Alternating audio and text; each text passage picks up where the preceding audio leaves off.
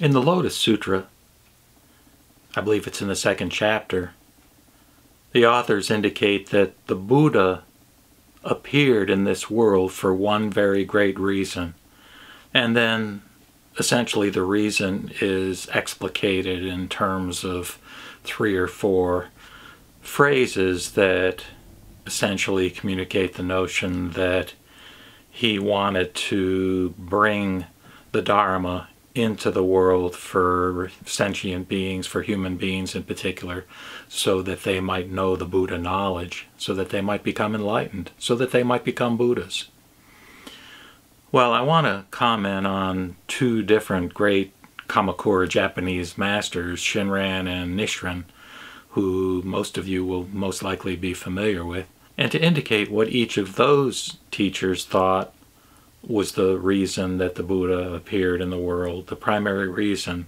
Shinran uh, believed that the reason the Buddha appeared in the world was to make us aware of Amida's pure land and of Dharmakara's vow to save all beings who had faith in him and relied upon his vow rather than upon their own self power um, Nichiren thought that the Buddha appeared in the world in order to preach the Lotus Sutra.